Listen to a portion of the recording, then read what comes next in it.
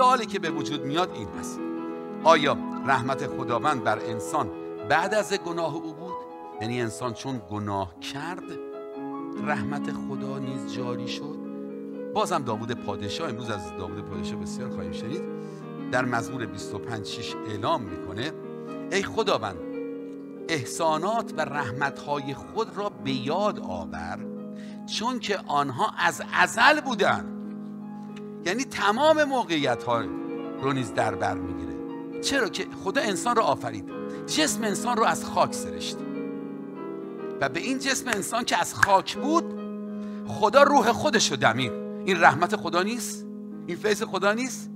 که روح خدا بر خاک دمیده بشه؟ کلام خدا میگه ما از خاک هستیم و به خاک برمیگردیم.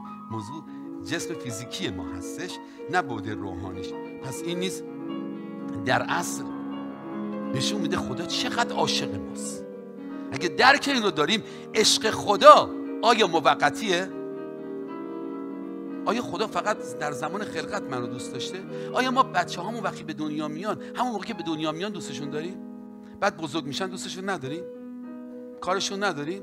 اتفاقا بدتر میشه مادر من روح شاد چند سال پیش که هنوز زنده بودش یادم هست هر موقع تماس می‌گرفتم انگار من همون بچه 7 ساله هستم. البته حتما بزرگم نشدیم زیاد. ولی منو نصیحت هایی می‌کرد که یادم هست انگار اون موقع انجام می‌داد نصیحت هاش این بود. مواظب به همسرت باش بچه دوست داشته باش ورزش کن خوب بخور خوراکت خوب باشه. رنگت پریده بود امروز تو تلویزیون دیدم.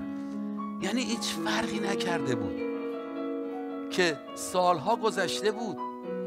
پنجاه سالم شده بود. جد آبتون پیره کی گفتی؟ پنجاه سالم شده بود ولی بازم نصیحتاش و پندهاش برای مادر من همون بچه کوچیک بودم. چقدر بیشتر خدا؟